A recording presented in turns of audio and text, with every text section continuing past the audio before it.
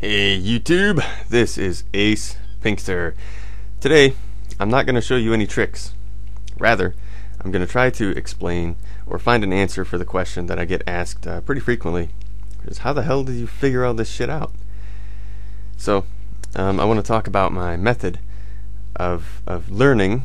Actually, uh, this is this is what I'm doing with FL Studio. Is basically using this as a platform through which to learn music theory in a much more intuitive way. Um, I don't think that traditional music theory, in its in its proper sense, is going to be best applied to the next generation of producers and, and composers who are going to be learning on a piano roll.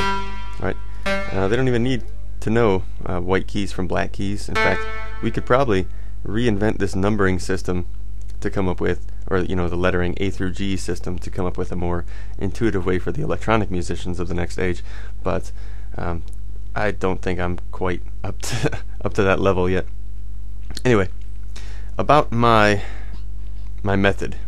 All right, I learned FL Studio through a method that I guess I could call experimentation within limitation. All right.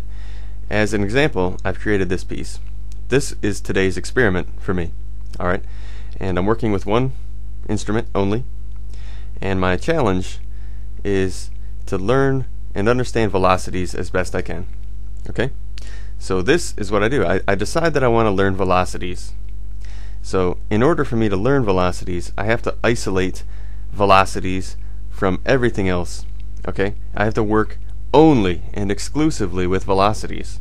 So what I've done is I've taken one instrument, I put together one melody, and I've refused to change that melody. Alright?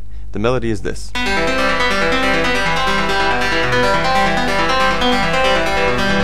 Now you'll hear that a lot today. Um, my challenge, as I said, was to come up with as many different patterns just by changing the velocity. Okay? Um, I, I expected to come out with five or six. I ended up coming out with about 12. So I'll show you uh, some of the things you can do with velocity. I'll just share today's experiment with you. Uh, one thing you can do with velocities is you can make certain notes stand out louder than others. Same melody, right? You can give it a bit of a sweeping crescendo and dis- decrescendo effect. It's pretty subtle, actually. Um, again, you can make certain notes stand out, but you can do it with varying rhythms.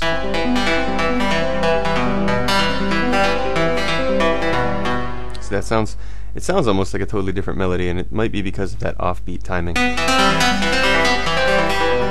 Again, we're, we're dropping a few notes here to add a bit of uh, dynamics and some extra rhythm to it.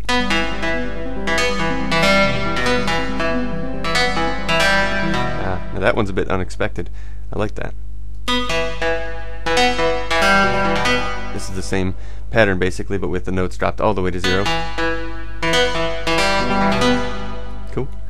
Uh, here's another pattern which works in groups of seven notes.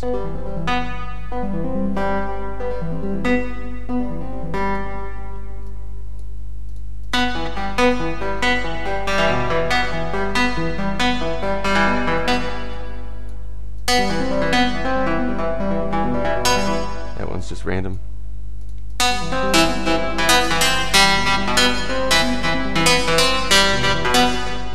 Well, in this particular pattern, I've cheated and I've added some delays, some rather strange shaped delays, but uh, it works out. I like the effect.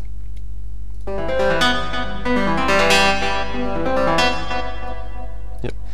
And that's it. 12 patterns, all using the same exact melody and only with slight changes to the velocity. I've been able to create um, 12 different rhythms and melody patterns that I can then use to produce a song. But I didn't set out today to show you how to use velocity.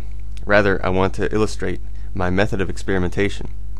You have to impose limits on yourself in order to get focus on one particular element.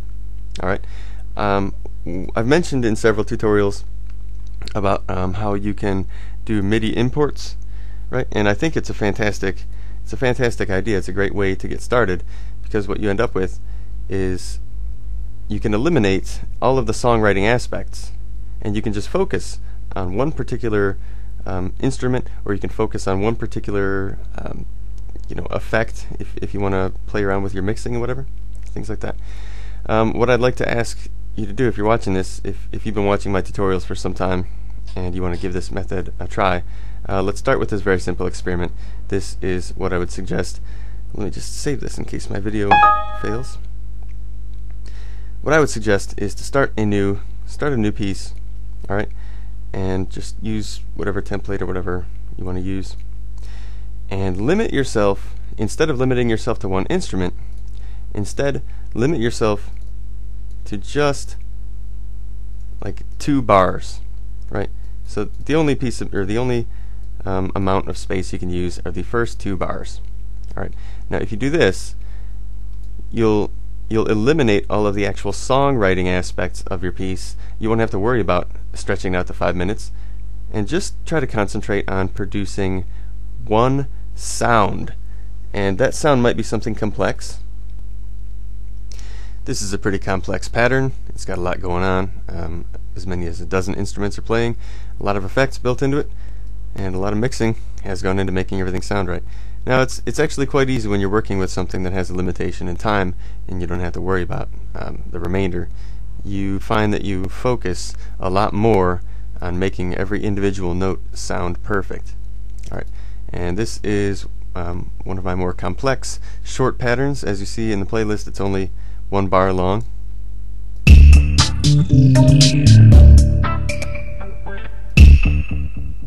Not bad, eh? Once again. Now, if you do this pattern, or rather if you perform an exercise like this one, working with a small, limited amount of time, and just combining as many instruments in as many, um, you know, professional sounding ways as possible, I guess. It's, it's a lot easier when you're working with a small pattern to achieve a more professional mix, simply because you don't have the distraction and the pressure on you of making things sound consistently good throughout your entire piece. Rather, you can just focus on this particular moment, just this one measure, the one bar, and it very nicely fits into one pattern, and it's a lot easier to manage. And if you perform this experiment at home, your reward will be a really hot sound effect. Now, isn't that better than this? Hell yeah.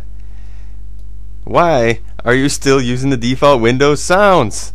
You've got a sound studio right here. So you don't have to use it to make music. You can use it for little jingles, little beats, and little sound effects.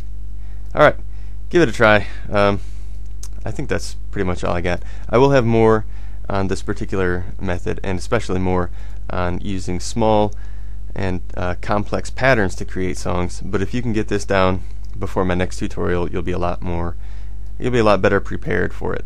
So what I'm going to try to outline is how I construct a song, and using a method like this is, is actually pretty important. Anyway, uh, this is Acepincter signing out. Thanks for watching.